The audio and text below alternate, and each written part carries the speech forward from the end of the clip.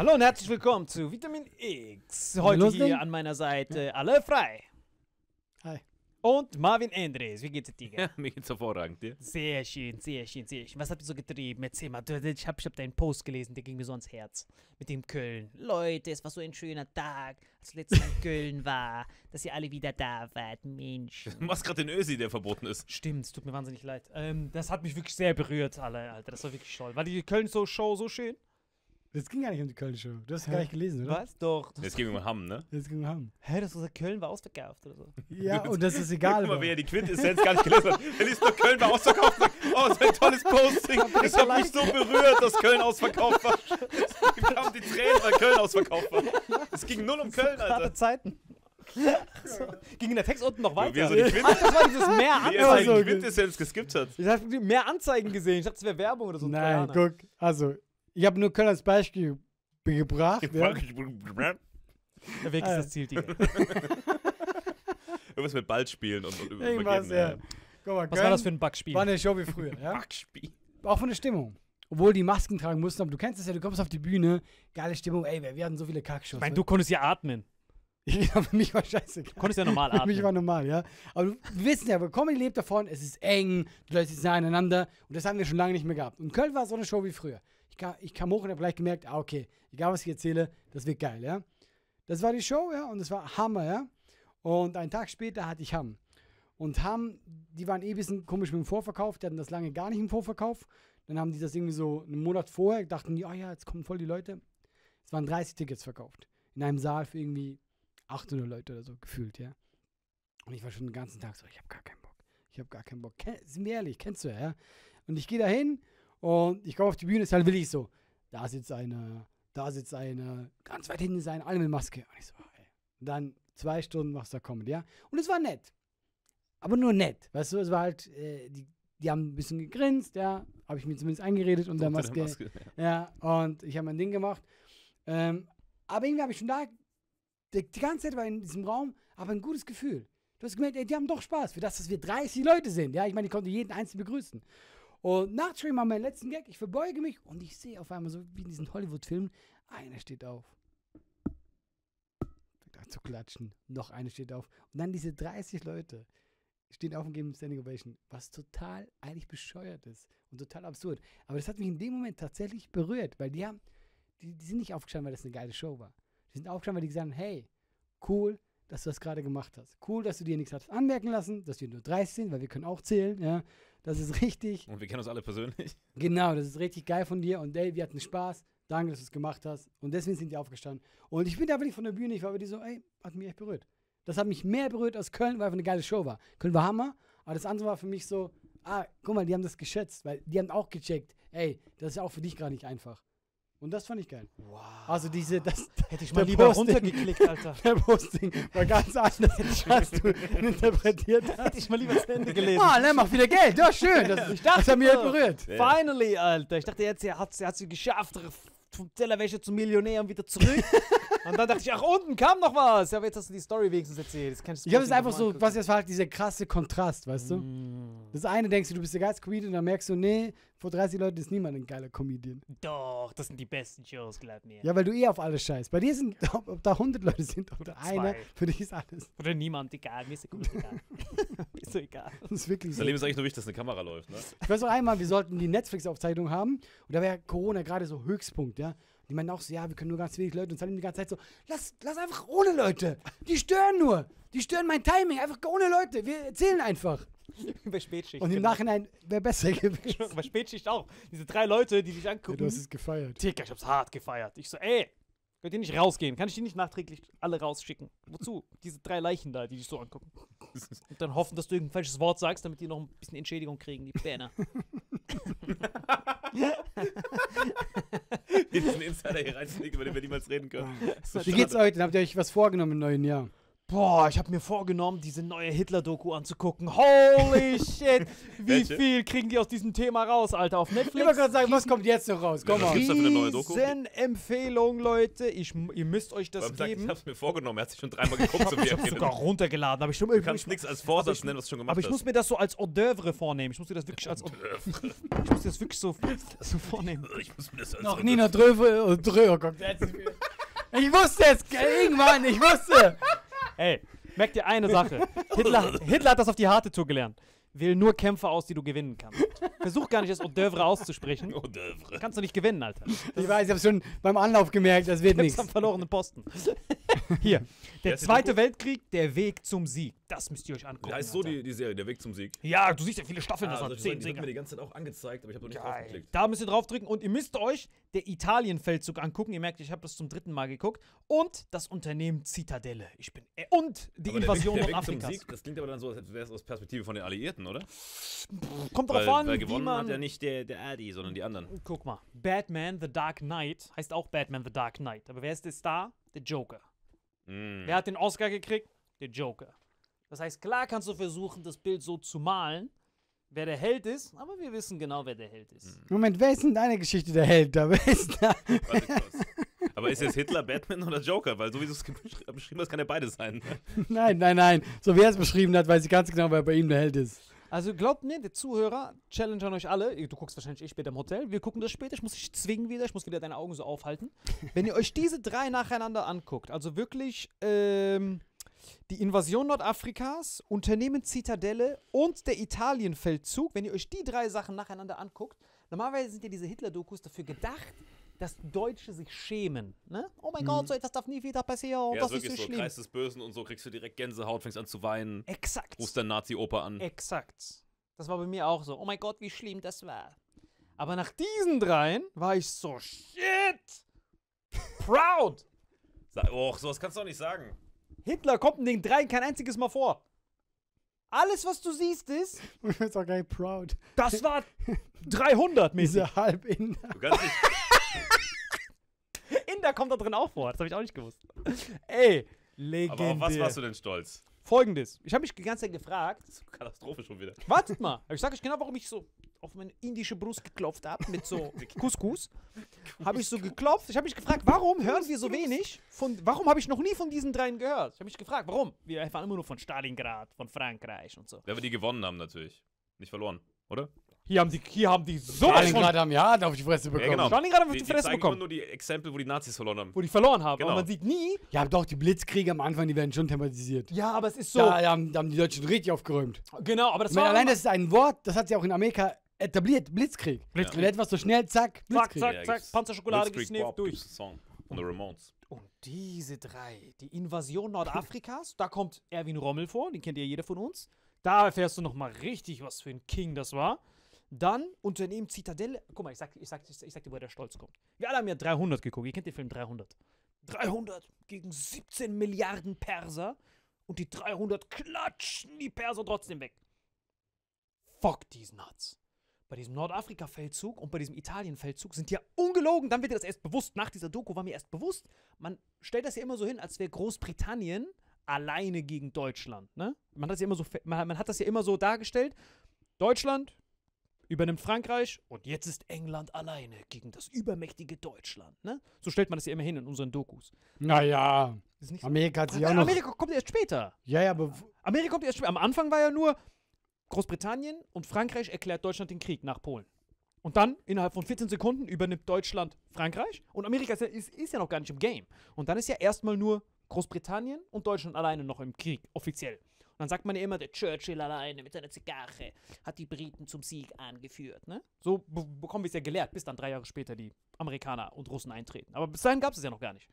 Und dann erfahre ich erst, dass diese Pissnelken von irgendeiner Seite. Mach den Arm nicht noch so. Also, und dann erfahr ich jetzt. Du kannst doch den Arm nicht noch so heben dabei. Mit seinen großen Augen. Das ist der Parkinson im Endstadium, Alter. Mann, ey, das kann man so aufgehen, wirklich.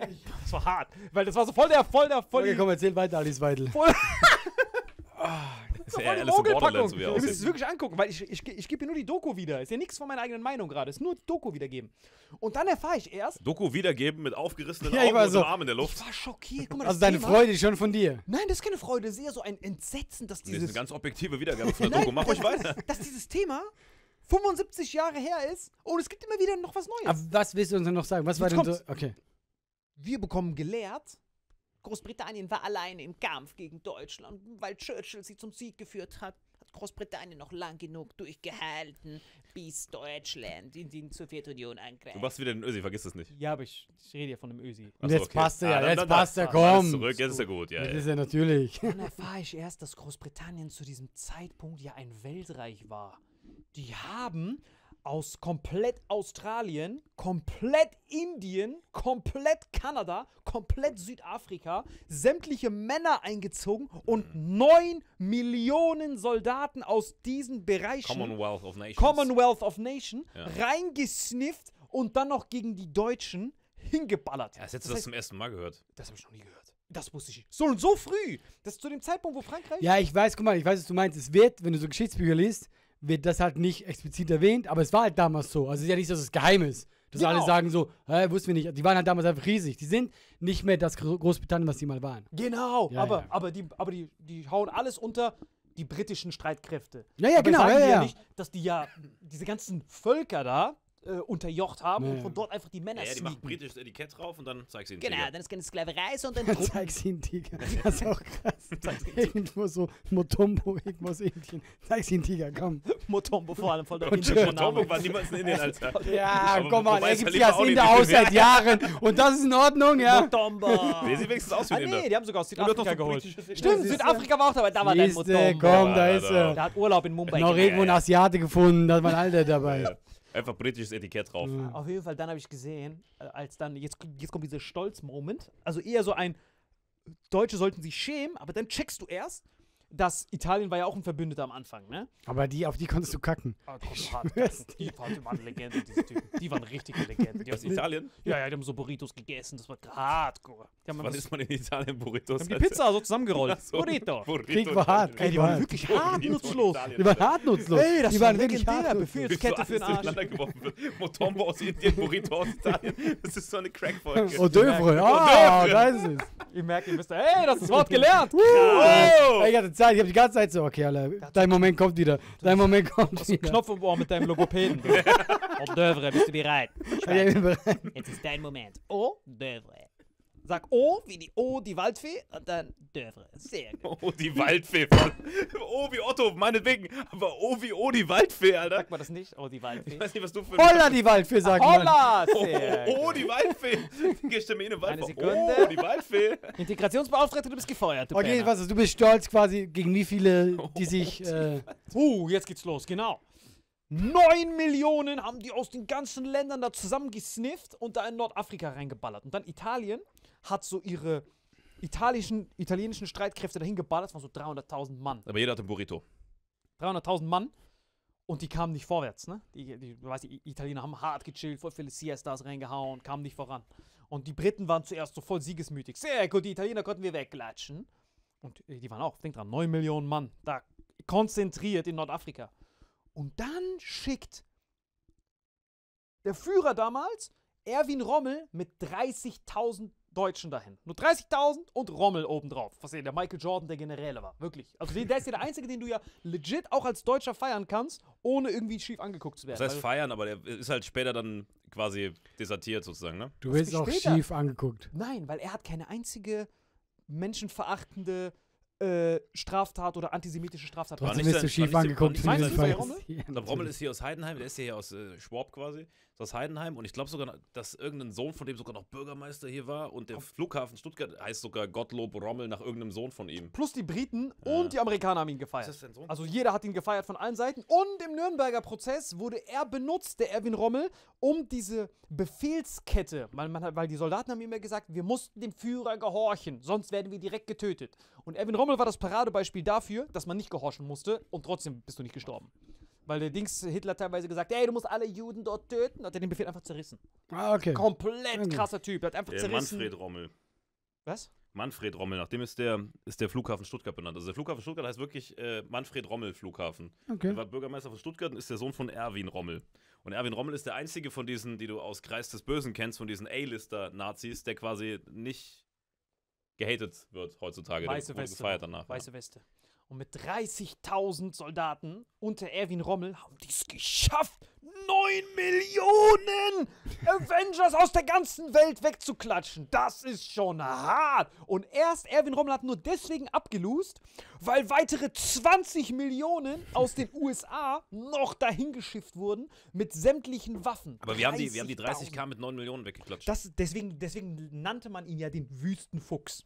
Weil er mit 30.000 und das so geschickt und effektiv genutzt hat, weil die Wüste ja ein braches Land ist. Für jeden war das ein Albtraum, außer Erwin Rommel. Der hat gesagt, das ist köstlich, weil dann bringt unsere 30.000, das sind ja effektiv, auch 9 Millionen, weil die 9 Millionen sind da konzentriert, aber wir können uns aufteilen von allen Seiten. Dadurch, dass die Wüste ja so ein Riesengebiet ist, können wir das genauso mit unseren schnellen Panzern nutzen. Und der hat fast komplett Nordafrika eingenommen mit nur 30 Aber was haben die mit den 9 Millionen gemacht? Umgebracht oder? also die Hälfte, die Hälfte wurde, wie gesagt, nicht ordnungsgemäß entsorgt. Und die anderen gingen in Kriegsgefangenschaft, wovon jeder zurückkam. Kein einziger wurde getötet während der Kriegsgefangenschaft. Erwin Warte Rommel mal, die haben mit 30.000 Leuten 4,5 Millionen gefangen. viereinhalb Millionen. Jetzt stelle ich mir logistisch schon unmöglich vor. Naja, guck doch. Ich muss dieses Doku jetzt mal sehen. Bitte ich hier. Guck, das war so. Diese Zahlen? Guck doch mal. Hier so. Guck doch mal. Guck, zeig mir irgendwelche Kiwis, um mir 9 Millionen Kriegsgefangene zu erklären. Guck, Hier. Guck, hier sind die Leute. Das ist Erwin Rommel, 30.000. Wo kriegen diese 9 Millionen ihren ganzen Shit her? Von hier, von den Häfen. Nur so können diese 9 Millionen versorgt werden. Wenn du aber Erwin Rommel bist und teilst deine 30.000, 15.000 hier, weil du ja in der Wüste bist, du kannst hier unendlich oft einen Schlenker nehmen. Weil hier, hier gibt es ja keine Stadt oder so, sondern die sind alle hier. Dann ist- der hier hingegangen, alles abgeschnitten, hier alles abgeschnitten, das heißt, die haben hier keinen Nachschub bekommen. Dann hat er mit den 15.000 hier angegriffen, nur bombardiert. Die hatten keinen Nachschub mehr, mussten sich ergeben. Very simple. Erwin Rommel, der Wüstenfuchs. Deswegen machst du immer diese ganzen Sprüche, Rommel in der Wüste, Rommel im Gebüsch. Jetzt check ich Aber jetzt, jetzt hab ich's erst gecheckt, durch diese Doku. Ach, Warum machst du diese Sprüche? Machst du trotzdem die ganze Zeit schon. Grandio, guck dir wirklich diese drei Folgen an. Es ist wirklich, ich finde es so faszinierend, dass man immer wieder es noch Ich wollte gerade sagen, ich, ich, ich hatte das Gefühl, ich habe alles über Hitler schon gehört. Habe ich auch gedacht. Habe ich die Doku geguckt, deswegen habe ich die richtig langsam, nur Folge pro Folge, das reinsniffen. Weil ich will nix, ich will nix verpassen. Plus, du musst halt überlegen. Nichts verpasst. Ja, plus, Glaub das, mir, das Ding, Ding ist, ist vorbei, du hast alles verpasst. das Ding ist, dass, wenn du mal checkst, was Hitler alles organisieren musste. So ist ja klar, dass er irgendwann Koks nehmen musste. Rommel dahin zu schicken in die Wüste. Den nach Russland. Den nach Griechenland. Musste alles er selber machen. Er hatte ja keine Delegierten. Er musste alles selber machen. Sie gehen hin. Welcher von den Generälen muss da hin? Da muss der Hitler da sitzen. Okay, das ist die Wüste. Da brauche ich einen, der improvisieren kann. Da brauche ich einen, der outside the box denken kann, weil es noch nie Krieg in der Du Wüste wärst in der gab. Wüste gewesen, das weißt du, ne? Dann zack, Rommel. Weil Rommel, du warst auch in Frankreich, warst flexibel, du gehst dahin. Und dann geht er nach Russland, der so, okay, Russland, das wird sehr kritisch. Da brauche ich einen, der nur stille Post spielt. Dem ich alles sage, der nicht eigen, eigenmäßig denken kann. General Paulus. Ja, Frankreich, da brauche ich. Paulus. Ja, ja, wirklich so, so hieß der. Dass er aber dass Hitler das all das durchdenken musste. Weil wir sehen ja immer nur als mit hier so Barten, Barten, das ist alles, was wir kennen. Aber dank dieser Doku Das ist einfach super schwer, so das so zu feiern. Das ist einfach, weißt du, wir sitzen hier und es ist so. Wir feiern das nicht, wir finden einfach ihn witzig. Paten, Nein, nein, ich habe nicht gesagt, dass wir das feiern. Aber eine von uns drei, und ich sage keine Namen, feiert das einfach ein bisschen zu heftig. Guck mal, seit 17 Millionen Folgen habe ich die nicht mehr, habe ich nicht mehr diese Nein, Thematik ey, ich, ich gönn dir das. Aber ich habe es guck jetzt mal. erst gesehen. Guck mal, es ist ja eigentlich auch ein super spannendes Thema, ja. Und das Ding ist ja auch, der hat ja Großartiges vollbracht. Schreckliches, aber Großartiges hat er vollbracht. Das ist großartig. Das ist, glaube ich, ein Zitat von Albus Dumbledore über Lord Voldemort, was genau. du gesagt hast. Und, äh, aber das war, und das Zitat haben die genommen, das haben die mal über Hitler gesagt. Und die hat das in Ach, Buch. krass. Ja, ja. Und das ist großartig, was, also, wenn du überlegst, was Hit, äh, Deutschland war auf Nullpunkt. Und in der kurzen Zeit hat er eine Weltmacht gemacht, wo jeder Schiss hatte. Natürlich ist das krass, aber er ist halt auch über x Leichen darüber gegangen. Ja. Und ich frage mich oft, was ich mir oft die Frage stelle, warum, wenn er nicht so irre gewesen wäre, ja? Der hat ja auch, er hat ja diese ganzen Streitmächte, wo, bevor er was gemacht hat, hatten ja schon alle Schiss. Weißt du, was ich meine? Das ist alles, warum hat er da nicht einfach aufgehört? Das wäre krass gewesen. Einfach weißt du? nur als Verteidigungsmacht quasi, ja. Guck mal, du kennst das doch. Leute, die Arenen spielen. Dann hörst du ja nicht auf mit Arenen. Du denkst dann, okay, lass mich zwei Arenen spielen. Drei. Dieses. Aber dann, dann vergaß doch keine Ja, Juden wenigstens. Unter- Ach so, das meinst das. du. Ich Nein, nein, meinst das ist auch zusätzlich. Nein, nein, nein, nein. Das habe ich schon so gemeint. Aber Ich dachte, du das, kein Militär. Ach so. das habe ich auch gemeint. Aber, weißt du? Ja, aber guck mal, das, das Problem ist halt, dass da eine, eine, eine Truppe von 20 Leuten, also ich weiß, was du meinst, wenn man, wenn man politischer Stratege ist, aber du musst ja sehen, wo die NSDAP herkam. Das waren ja Leute, die quasi irgendwelche Gescheiterten, weißt du, der die Hitler, Hitler gescheiterter, gescheiterter Maler, dann der Goebbels gescheiterter Autor, der dachte, die Juden nehmen ihm die Jobs weg als Autor und die Arrangements irgendwo. Und das waren alles Leute, die sich quasi, hier, dieser Goebbels, der war 1,20 Meter groß gefühlt, weißt du? War ein kleiner Napoleonplex-Typ, der war noch, der hat noch einen größeren Judenhass gehabt als Hitler.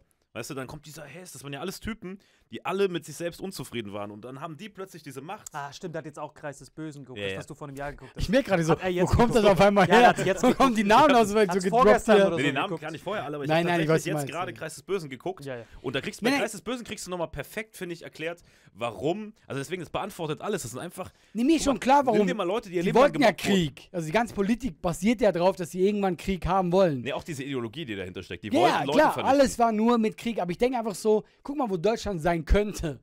Wenn der einfach gesagt hat, so bei Olympia, wo die Olympia ausgetragen haben, weißt du? Wo die das alles schön gemacht haben, die Pender versteckt haben, ja. Die Juden durften wieder Sachen machen. Da so, okay, wir sind jetzt so, wie wir sind. Du wärst heute Aber eine es ist in der Politik ja auch noch so. Guck dir mal Nicht nur Politiker an. das. Hitler wäre auch fucking Eine Legende. größte Eine ever Legende. Mensch ever. Ja. Krass. Wenn er aufgehört hätte. Wenn er nach Po, wenn er nach Genau, Sudetenland oder- aufgehört hätte. oder nicht, genau. Nicht Polen, bei, vor Polen aufhören. Ich glaube auch vor Polen. Polen war Nee. too much. Weil er hat doch, hatte nicht auch äh, Dings zurückbekommen, aber aus Prinzip einfach hier ähm, äh, bei Frankreich, äh, Elsass. Ja, Elsass hatte Das hat er aber doch einfach so bekommen. Elsass hatte bekommen. Siehst du, der hat so Österreich Schiss. hatte bekommen. Genau. Saarland. Tschechien Da hörst du bekommen. auf. Da hörst du auf. Ja, das wäre der größte. Hey, dann, dann sagen alle, boah, Hitler ist der krasse. Nein, aber selbst da muss ich relativieren und widersprechen, weil er hat ja trotzdem diese Ideologien, ist mal unabhängig davon, ob er Juden vergaß hätte oder nicht, aber diese ganzen rechten Ideologien, die die ja hatten, wären trotzdem immer noch scheiße. Wenn Aber das wüsstest du ja nicht. Das wüsste ich nicht. Das meine ich. Weißt Ach so, du, das. ja, weil, du, weil du so erzogen worden wärst. Stell dir dann, vor, Hitler ja. hätte gewonnen. Nee, Hitler hätte gewonnen. Wir wüssten nichts über die Juden, dass die vergast wurden. Das meine ich damit. Hätte da aufgehört, ja, ey, die Geschichte wäre ganz das anders bis geschrieben heute worden. Rausgekommen, ich bitte euch. Und selbst, selbst Ja, aber nicht, weißt du, rausgekommen, du kennst das doch. Dieses rausgekommen. Ja, weißt du so, ja, Leute, okay, Krieg ist hart, alle machen Fehler. Wo gehobelt wird, fallen Späne. genau, so wäre es Aber ich habe ein rausgekommen. Riesenproblem damit, solche Sachen zu, rela zu relativieren irgendwie. Dann relativierst du nicht. Aber das nicht. Aber jetzt mal Spaß. Ich rede euch beiden. Kannst du bitte deine braune Uniform drunter ausziehen, bitte? Ich habe noch so ein. Aber Nein, nein, ich relativiere das nicht. Ich sage, was passiert wäre, wenn. Guck mal, es gibt doch diese Szenarien. Was wäre, wenn eben Deutschland gewonnen hätte? Ey, erstmal wäre das für uns so, ja, erstmal äh, hätten wir alle, uns wäre eingetrichtert worden, ja, Juden waren halt die Bösen. Einfach die Geschichte wäre ganz anders. Du wärst heute Deutschland wäre eine andere Weltmacht und äh, eben Hitler wäre selbst im weltweiten Geschehen ein, ein, äh, eine Legende. Dass Leute sagen, ja klar, das war so ein Kriegsheld und so. Die Geschichte wird von den Gewinnern geschrieben. Sonst wäre das alles nicht so rausgekommen. richtig köstlich gesagt hast du das, das stimmt. Aber was ist denn mit Achilles? Was mit Achilles. Der hat doch verloren wegen der Ferse. Und was ich geil fand, jetzt erst. Bruder, Bruder, was war das Ich wieder? habe Jetzt irgendeinem das wieder her? Noch irgendeinem Held Warum Achilles? der in Geschichte, in die Geschichte eingegangen ist. Und Und du jetzt. meinst, dass die Geschichte von den Gewinnern geschrieben. Und, Der war ganz klar kein Gewinner. Und jetzt erst zum ersten. Doch klar, die haben gewonnen. Ja, Achilles. Ja, Ja, der ist einfach gestorben. Aber er hat gewonnen. Zählt das dann? Man stirbt dabei? Ey, dann ist es noch krasser. Ach so, weil Dann ist es noch krasser, ja. ja. Dann ist es noch krass. Wenn du stirbst, wenn du das tust. Aber guck mal, das Ding ist, weil wir eben bei NSDAP-Kreis des Bösen waren, ist ja heute immer noch so, dass voll viele Politiker, wenn du die siehst, du siehst ihn schon und weißt, ja, der wurde als Kind auch gemobbt. Weißt du, und aus irgendeinem, aus irgendeinem Komplex geht der in die Politik. Weil es sind ja oft voll die Leute, die, weißt du, auch so Abgeordnete äh, von verschiedenen Parteien in ihrem eigenen Heimatwahlkreis, alle, die die persönlich kennen, äh, die Sag schon doch wieder, einfach schon Lauterbach. wieder. Nee, ich rede nicht von dem. Ach Ich rede von, ich rede Ey, von sämtlichen komm nicht wieder mit Lauterbach. Shit- Ey, guck mal. Nein, das regt mich bei Vitamin X so auf. Ja. Jeder, der diesen Podcast hört, weiß, weiß es, wir, wir roasten alles. Wie oft mache ich AfD-Witze? Wir roasten die. Wir roasten jeden, ja? Ich Ja, roaste zum ersten Mal ein bisschen Lauterbach, ja? Ey, ich finde, der hat ja sogar äh, Ahnung, was er sagt. Aber ich roaste den. Leute schreiben mir so, wie kannst du Lauterbach roasten? Und ich denke, ey, Ja, Leute, wir- Lauterbach halt gerade der Hero von Ja, aber wir roasten alles hier. Ist doch, wir machen doch nur Witze. Aber Also hört dir Schlimmes draußen. Wenn jetzt jemand schreibt, ich darf den nicht roasten, ja?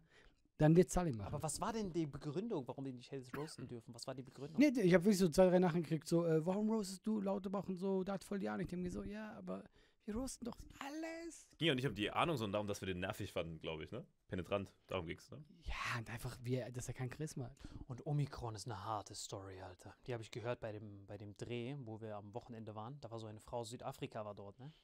Hat den Dreh organisiert und hat dann so, das war so ein geiler Moment, wenn du so woke Motherfucker siehst, die so über Rassismus und so reden, aber dann ist eine Betroffene da, die alle ihre Fresse halten. Oh, war das befriedigend. Das war so, ja, wir finden nicht, das ist Gender, das ist voll rassistisch, wenn er Dreadlocks macht. Da hat so eine von diesen, wir haben da gesessen, es war so ein großer Tisch, und da war so eine South African Beauty Queen, ich hab sie geliebt, wir waren so zusammen so African Brothers. Und dann, ähm, ja plötzlich wieder Afrikaner, ne? Passt. auf jeden Fall haben wir uns so voll so richtig göstlich. Und dann sagt eine, worüber wir mal geredet haben mit diesem Justin Bieber, weißt du noch, Cultural Appropriation mit dem Dings? Und dann sagt eine, komplett zusammenhangslos, äh, ja, ich fand das auch nicht gut, dass die Rastas haben, weil das ist ja Cultural Appropriation den Afrikanern gegenüber. Leben, leben. Und dann auf einmal sagt diese Südafrikanerin, the hell are you talking about, man? This is not racism. I don't care about this. Und wie sie dann so zusammengezuckt ist, weil du weißt, dass sie normalerweise nur diese Scheiße redet in ihrem Twitter-Gebabbel, wo dann andere von ihrer Rattengleichen ihr Zuspruch holen und sie dann darin so schwimmt und sie noch nie Interaktion Ja, das Problem ist, hatte. wir können halt nicht sagen, hey, was laberst du? Wir können das ja Doch, nicht, ich ja? konnte, Du ich schon, konnte, ich ja. hab richtig hier Na, Moment, hör gegeben. zu, Du ja. hattest auch Dreads in dem Moment. Und du bist ja auch so ein Dings. Man kann ja gar nicht einschätzen, wo du herkommst. Rambo. Rambo! Aber stell dir vor, Rambo. da kommt ich, White ähm, Dings, ja? Der, der weiße Typ, den du dir vorstellen kannst, sagst so, ey Leute, Rasse ist doch nicht schlimm, jeder kann Rastas haben. Bam, direkt Nie wieder auf eine. Comedy-Bühne. Sie hat dann richtig gepuncht, ne? Und dann auf einmal kam die nächste, der nächste Wendepunkt, kam dann, boah, ich hab diese, ich hab sie so geliebt. Dann sagt irgendeine andere, sie hat es auch nicht so richtig mitbekommen. Ich musste ja immer übersetzen, weil sie konnte ja nicht so gut Deutsch. Dann sagt sie, ja, wir haben jetzt diese ganzen Mutanten aus Afrika, weil die sich ja nicht impfen lassen. So eine direkt wieder von unten so zum Uppercut geben, so richtig schön saftig von unten. So, zack, Fatality. Dann sagt sie von der Seite, und dann hat sie gesagt, can you translate this? Und ich so, she said, habe ich so auf sie gezeigt mit so einem Laserpointer, hier so drei Laserpointer drauf geknallt. Ich so, she said, because Africans don't get vaccinated, that's where we get all the mutations like Omicron. Sie direkt aufgestanden. Tell that to my face. What did you just say? Und dann äh, wiederholt sie das. Ja, Omikron kommt doch aus Südafrika. Und dann hat sie ausgepackt, weil ihr Vater arbeitet in diesem Virologiezentrum im südafrikanischen RKI und hat dann gesagt, woher Omikron wirklich kommt. Dass Omikron eigentlich, dass diese ganzen Mutationen aus Südafrika wieder nach Europa kommend, dass das nicht von den Afrikanern ausgeht, weil Afrikaner haben im Durchschnitt nicht so viel Geld, dass sie immer nach Afri dass sie nach Europa reisen können. Plus die Visabestimmungen sind ja viel schwieriger. Du kannst ja nicht als Afrikaner einfach Urlaub in Europa machen. Du weißt ja, du brauchst ja Visum, das, das. Das geht gar nicht. Das heißt, die, die eigentlich diese Viren zum Mutieren und hin und her transportieren bringen, sind ja Europäer, die ja dahin reisen für Werbespots. Habe ich auch nicht gewusst, dass in Kapstadt Nummer 1 für Werbespots ist. Ja, so, Raphael, doch, Du kennst es ja, die reisen immer dahin, diese ganzen Models machen da so Selfies, lassen die so ein bisschen mutieren und kommen dann wieder zurück. Und dann haben die Europäer getestet in Südafrika und haben dann gesagt, hey, wegen dieser europäischen Probe haben wir gemerkt, dass der Virus mutiert. Er wird endemisch. Endemisch heißt, dieses Omikron ist jetzt Ja, die ja. finale Stufe. Das- Also man hofft, dass das finale genau, Stufe ist. weil das ist auch etwas, was man immer weglässt. Es gibt so einen geilen Chart. Südafrikanerin, ich muss ihre Hand küssen. Wenn man Viren einordnet, dann gibt es ja einen Graphen. Ne? Hier ist die Tödlichkeit und hier ist die Ansteckungs Ansteckbarkeit. Desto ansteckender ein Virus wird, desto untödlicher wird er. Ihr? Also zum Beispiel du hast Ebola und so, die direkt beim Blut eindringen. Das sind wie so Navy Seals. Und die, die über Luft gehen, sind dann meistens weniger tödlich als die, die direkt ins Blut rein müssen, wie Tollwut und sowas. Und wenn ein Virus ansteckender wird, wird er automatisch in dieser Skala von der Tödlichkeit, sinkt er ab. So dieses Alpha-Corona war noch in der Lunge und dieses Omikron ist fast nur noch hier so im Rachenbereich eher. Fast schon Erkältungsniveau. Und das haben die Südafrikaner gesagt und wollten das der Weltwissenschaft zur Verfügung stellen. Haben dann gesagt, hey, we gotta analyze this. This is a new version Omicron. Just so you know.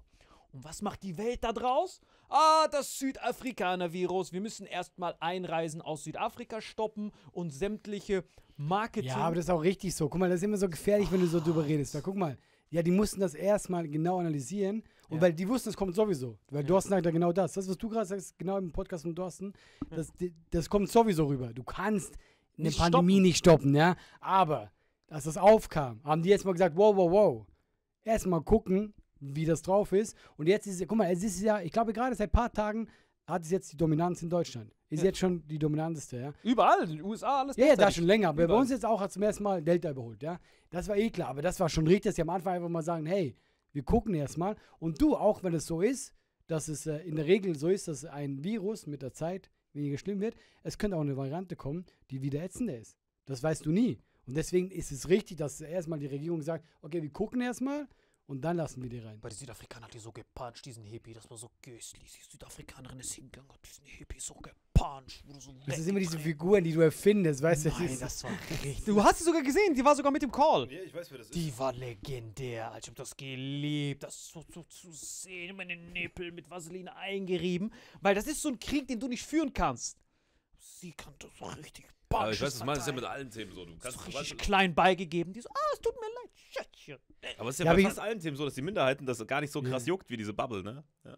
Nein, nein. Ich meine, die Aussage von der anderen ist ja auch dumm, dass die Ameri äh, der Afrikaner schuld ist. Ich meine, äh, dass ein Virus mutiert und gerade, äh, dass wir das nach Afrika gebracht haben, ist ja klar. Und dass das in Afrika mutiert mit so vielen Menschen Aber auch zurückgebracht. Also hin und zurück. Weil das Ding ist dann Ja klar, also wie kommen, also wie viel, wie du gesagt hast, wie viele Afrikaner, die wirklich allein können sich das leisten. Und in der, in der Pandemie kommt das irgendwann zurück. Ich meine, deswegen meine ich ja, Das ist ja dieses Dammärsige. Es ist wie so ein Ozean, wo du in einem Bereich so bestimmte Algen züchtest und dann sagst, so, das sind jetzt reinrassige Algen, die nur für den Fischen hier. Bro, haben wir Globalisierung oder Ja, haben wir eben keine genau, ja, ja. Globalisierung? Das bringt nichts, wenn du hier 3G plus plus plus plus machst und drüben wird drauf geschießen, dann vermischt sich das doch eh. Das hat mich so fasziniert, Alter. Ich bin so, Frau, ihre Hände geküsst, ihre Daumen gesagt. Das war wirklich faszinierend für mich. aber um es auf den Punkt zu bringen, weil ich finde es wirklich wirklich interessant, wenn wir eben Glück haben, ja, äh, könnte das wirklich jetzt dann so langsam, Das Ende sein. Aber so langsam, weißt du? Aber Ja. die sagen ja jetzt, dass, dass bis Ende März äh, jeder zweite Europäer mindestens, Mhm. vielleicht sogar noch mehr Omikron kriegen wird. Ne? Und deswegen auch anderes interessantes Thema, weil guck mal, ich finde Impfung gut, aber ich bin total gegen die Impfpflicht. Weil Und jetzt, Gegen Boosterpflicht, Alter. ja, weil, genau, weil irgendwann ist auch so, jetzt hast du dieses Omikron, das überall rumgeht, ja, und es ist weniger gefährlich und irgendwann hat es jeder, ja.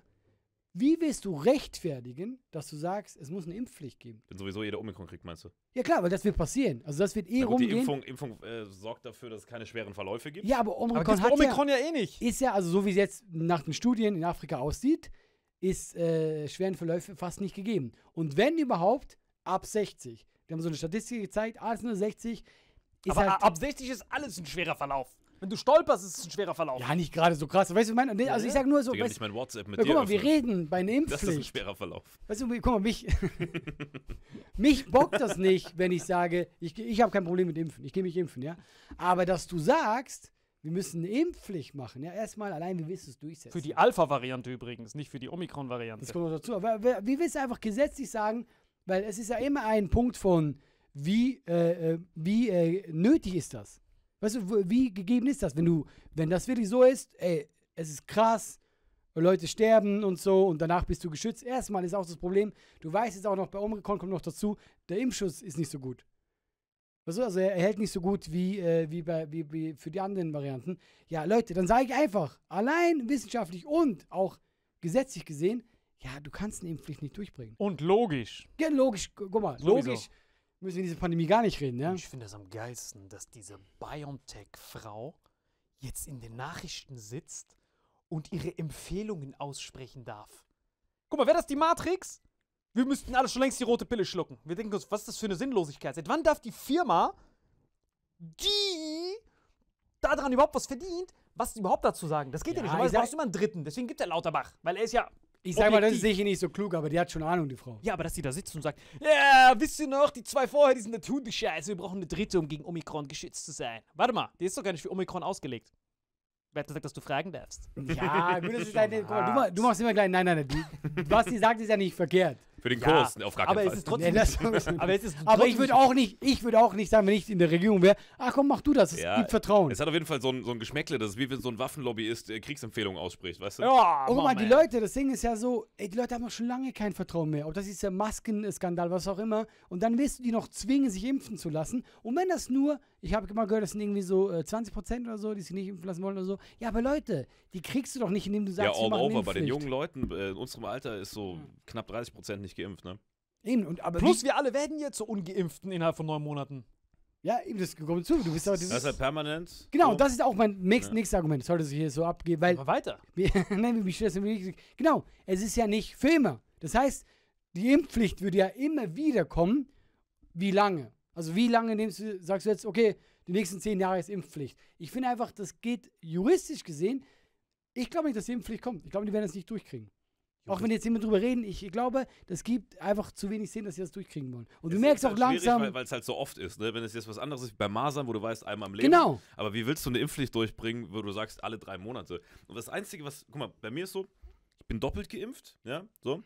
Und ich müsste jetzt, ähm, weil die, die zweite ist über drei Monate her. Seid ihr noch nicht geboostert, ihr zwei Nee, kleinen pass auf. Meine, meine zweite Impfung ist gerade erst drei Monate her, aber Ja. halt schon genau über drei Monate. Drei Monate, ein paar Tage. Das heißt, ich muss jetzt jeden Tag, um die Gastro und so zu gehen, einen Test machen, solange ich nicht geboostert bin, weil man nach drei Monaten quasi dann als, äh, ja, halt nur als zwei doppelt geimpft gilt. So. Aber gleichzeitig empfehlen alle Ärzte und Lauterbachen, wie die alle heißen, ja, am besten ist es, man wartet wegen der natürlichen Immunantwort des Körpers sechs Monate. Das heißt, ich bin jetzt in so einem Loch gefangen zwischen, man soll sich erst nach sechs Monaten boostern lassen und nach drei Monaten muss ich jeden Tag einen Test machen und mache jetzt jeden Tag einen Test, Mhm. weil ich auf die Ärzte höre, die alle sagen, warten Sie noch, weil die haben ja eine natürliche Rea äh, Immunreaktion. Bloß ich hatte ja zweimal Corona schon im Vorfeld. Ich hatte vorletztes Jahr Corona, also 20 und 21 nochmal und bin dann doppelt geimpft. Das heißt, ich bin doppelt genesen, doppelt geimpft und muss jetzt jeden Tag einen Kannst Test nix. machen, weil ich nicht geboostert bin. Wahrscheinlich lasse ich mich boostern, auch wenn Ärzte sagen, warten Sie ein halbes Jahr, nur damit ich den Stress nicht mehr habe. Und das ist halt der Druck, der dann auch auf Leute ausgeübt wird, die eigentlich bereit sind, sich impfen zu lassen. Weißt du, wenn der Impfstoff voll die Legende wäre, man impft sich einmal, hat nie wieder Corona, ey, ich würde jeden Morgen würde ich mich impfen. Ja, und dann, ganz ehrlich, dann würde ich auch sagen, jeden Morgen, dann kannst du über eine Impfpflicht diskutieren, aber so finde ich einfach rechtlich gesehen, wird das super schwer. Und ich bin auch gespannt, ob die das äh, wirklich dann äh, durchziehen. Diskutieren die wirklich darüber? Ist das Ja, wirklich ja, so? also, aber jetzt merkst du, wenn du zuhörst, das finde ich vor einem Monat so war das noch ganz anders und jetzt merkst du langsam so, das ist wieder so, ja, vielleicht doch nicht, weil Omikron hat halt viel verändert. Omikron hat alles verändert. Ja. Guck mal, die Südafrikaner haben das entdeckt, mit dem Partyhut gleichzeitig aufgesetzt. die waren so, oh my goodness, the end is near. Und was sagen wir? Ah, die haben auch alle, alle, Nein, aber alle. das sagen wir nicht. Tatsächlich jetzt mittlerweile, die viel drüber wissen, nein. Wenn du hör dir diese Podcasts an, hör dir die, äh, das, die, die, das ganze Ding an, auch Lauterbach redet drüber, die sagen, wenn wir Glück haben, äh, ist es eben das Ende, diese endemisch. Das kommt ja nicht von ungefähr. Das sagt ja auch ein Lauterbach. Und das ist so, das ist ja nicht so, Leute, wir müssen nicht immer so tun, als hätten die alle gar keine Ahnung. So, guck mal, Ja, sagen wir, ich die wollen, gesagt. die wollen, ja, ich rede auch nur in die Richtung. so, Das ist okay. so, weißt du, Orthopäde, wenn schlecht bei dir. ja, aber die, Aber die- so viel Ahnung die wollen auch aus, die Schei aus der Scheiße raus, ja? Macht das. Aber das ist eben das Problem. Sicher, dass der aus der Scheiße raus will? Was soll Lauterbach dann machen, Alter? Wo Ja gut, er jetzt? vielleicht der Einzige nicht. Nein, Quatsch. So die Kamera Na, aber guck mal, die, die Regierung, als ob die das haben will. Aber die beide Seiten, die haben auch keine Ahnung.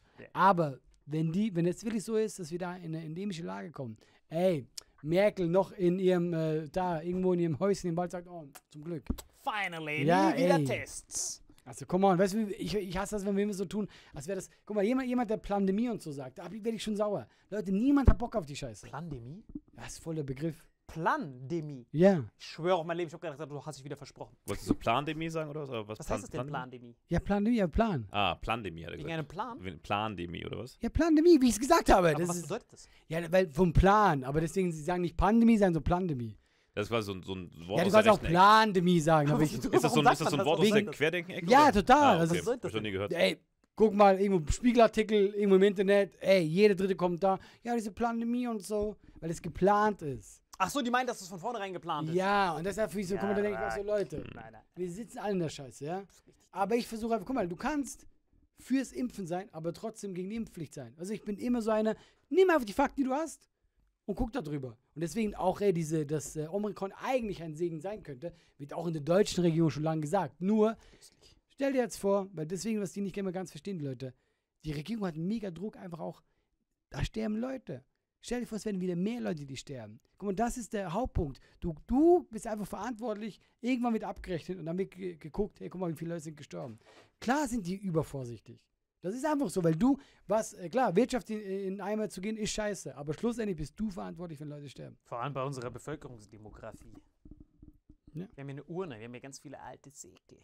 Ja, aber ist so, aber du kannst ja, guck mal, klar, du kannst sagen, okay, die sind alt, aber sind halt, äh, ja, sind auch ein Leben, das du ver- zu beantworten hast. Das ist ein wundervolles Schlusswort. Das ist wirklich wundervoll.